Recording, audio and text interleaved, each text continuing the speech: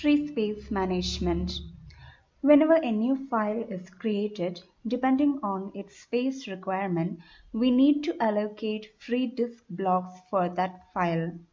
For this, the system should keep track of the list of free blocks available. The system maintains a free space list which records all the free blocks which are not allocated to some file or directory. Now, which are the different ways to implement the free space list? One way to implement it is by using bit vector or bitmap. Here we reserve a set of bits such that each bit corresponds to each disk block. If the block is allocated, then the bit value is 0. Here, all the 8 blocks are allocated hence each bit is 0 then block 8 and block 9 are allocated the bit value is 0 and if the block is unallocated if the block is free then the bit value is 1 we are looking for a free block and for the free block the value is 1 and for the allocated block the value is 0 here we have a set of 32 blocks and the bitmap for it is this. The main advantage of this method is that it's a simple implementation and how to find the free block, how to find the first free block using the bitmap. To find the first free block using the bitmap, Scan each word of the bitmap. Let each word in the bitmap is equal to a set of 8 bits. Each set of 8 bits corresponds to one word of the bitmap. Scan each word of the bitmap and find the first non-zero word. If a word is all zero, it means all the disk blocks corresponding to it are allocated. Then this is the first non-zero word. Now to find the offset of this word with respect to the bitmap use this equation number of bits in a word into the number of zero words prior to it.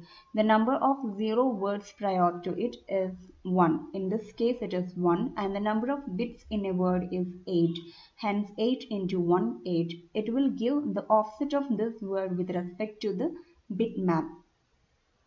Now scan this first non-zero word for the first bit 1 or the first non-zero bit and get its offset.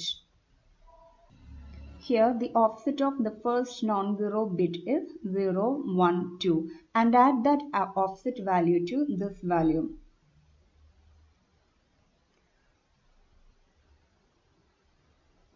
Hence the value is 8 into 1 plus 2 which equals 10. Thus block 10 is the first free block available. In this way we can get the first free block using the bitmap method or if there are contiguous set of ones we can get a set of free blocks too. And one problem with the bit vector implementation of free space list is that here for each disk block we are having a representation in the bitmap. And to take advantage of the bitmap we should bring it to the main memory and update it to the disk as and when required. And since each disk block is having a bit reserved it will consume. If the number of disk blocks is more or if the size of disk is more then it will consume a considerable amount of space in the main memory. Another method of implementation is by using a linked list. Here we keep a pointer to the first free block available in a special location on the disk and caching it to the main memory. And this free block contains a pointer to the next free block and so on.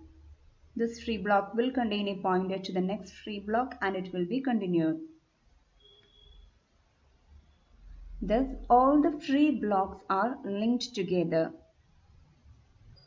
With this method, it is difficult to traverse the list since we should read each disk block and get the pointer to the next block. But rarely the system needs to traverse the list. In most cases, what the system needs will be a free block. Thus, allocate the first free block and update the free space head to the next free block. For every free block request, thus the first block is allocated only if it needed to traverse the list. In such case, the system is inefficient.